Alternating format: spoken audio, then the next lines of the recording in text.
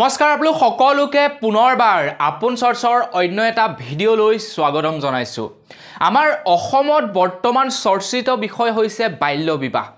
বস্তুৰ দাম বাঢ়িছে ঠাণ্ডা বাঢ়িছে সেইবিলাকৰ বৰ্তমান চৰ্চিত হোৱা নাই এটাই মাত্ৰ চৰ্চিত টপিক সকলোৰে মাজত সেইটো হৈছে বাল্য বিবাহ। আৰু নতুনকৈ খবৰ ওলাইছে যে যি নেকি বৰ্তমান সময়ত প্ৰায় দুই হেজাৰ পাঁচশমান লোকক এৰেষ্ট কৰা হ'ল সিমানতেই আমাৰ অসম চৰকাৰ বন্দী হৈ নাথাকে। এই আঁচনিখন আৰু কঠোৰভাৱে পালন কৰা হ'ব।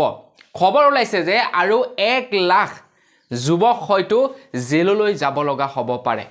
তো বন্ধু বান্ধৱীসকল মই আজি আপোনালোকক এই বাল্য বিবাহ বাল্য বিবাহৰ আইনখনৰ লগতে জড়িত কেইটামান প্ৰয়োজনীয় কথা জনাম আৰু তাৰ লগতে কোন এক লাখ নতুনকৈ যুৱক জেললৈ যাব তাৰ ওপৰতো জনাম। তো মই শ্ৰীপাঞ্জিত গগৈ আপোনালোকে চাই আছে আপোন চৰ্চ। আহক আৰম্ভ কৰোঁ আজিৰ ভিডিঅ' আজিৰ ভিডিঅ'টো আৰম্ভ কৰাৰ আগতেই প্লিজ লাইক এটা কৰিবলৈ নাপাহৰিব। চেনেলটো যদি এতিয়ালৈকে ছাবস্ক্ৰাইব কৰা নাই ছাবস্ক্ৰাইবটো কৰি ল'ব।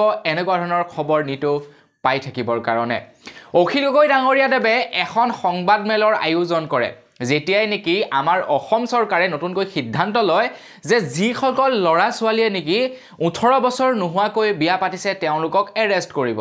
আৰু সেই সংবাদমেলখনত অখিল গগৈ ডাঙৰীয়াদেৱে এই বাল্য বিবাহ আইনখনৰ ওপৰত পুংখানুপুংখভাৱে আলোচনা কৰে। মই কিন্তু ইয়াৰ আগতে এই আইনখনৰ বিষয়ে সবিশেষ পঢ়া নাছিলোঁ দুই এটা পইণ্ট পঢ়িছিলোঁ সকলোবিলাক পইণ্ট পঢ়ি চোৱা নাছিলোঁ।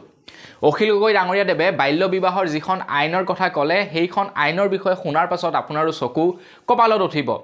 যিখন নেকি বাল্য বিবাহৰ আইন প্ৰণয়ন কৰা হৈছিলে সেই বাল্য বিবাহৰ আইনখনত বোলে স্পষ্টকৈ লিখা আছে যদি কোনো বিবাহ দুই বছৰ পাৰ হৈ গ'ল তেন্তে সেই বিবাহক আপোনালোকে অবৈধ বিবাহ বুলি গণ্য কৰিব নোৱাৰে। যদি কোনো বাল্য বিবাহ দুবছৰ নহওঁতেই সেই কেছ ৰেজিষ্টাৰ হয় তেন্তে সেই বিবাহকহে অবৈধ বুলি ঘোষণা কৰিব পাৰি। কিন্তু আমাৰ অসম চৰকাৰে দুই বছৰতকৈও অধিক পুৰণি বিবাহৰ ল'ৰাবিলাকক বৰ্তমান জেললৈ ধৰি লৈ গৈছে। আৰু এইটোক অখিল গগৈ ডাঙৰীয়াদেৱে সম্পূৰ্ণ অবৈধ বুলি কৈছে। মানে এৰেষ্ট কৰাটো অবৈধ।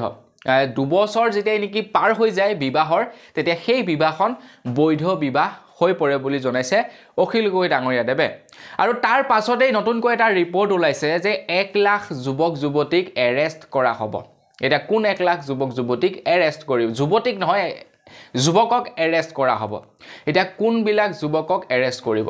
দুহেজাৰ বাইছ চনত এটা ৰিপৰ্ট প্ৰকাশ পাইছে। দুহেজাৰ বাইছ চনৰ ৰিপৰ্ট অনুসৰি আমাৰ অসমত সৰ্বমুঠ গৰ্ভৱতী হৈছিলে প্ৰায় ছয় লাখ বিছ হাজাৰ আঠশ সাতষষ্ঠিগৰাকী মহিলা।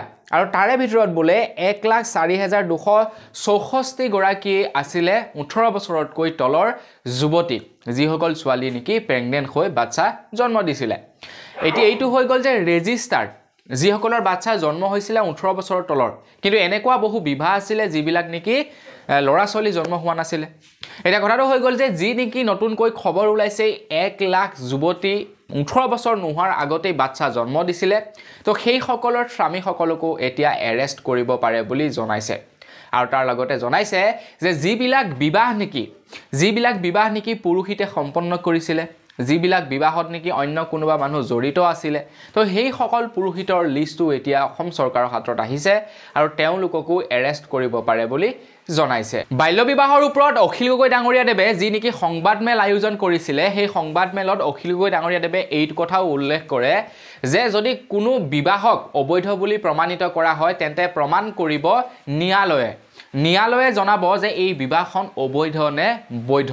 যদি ন্যায়ালয়ে কয় যে এই বিবাহখন অবৈধ বিবাহ তেতিয়াহে সেই যুৱকজনৰ জেল হ'ব পাৰে বুলি জনাইছে।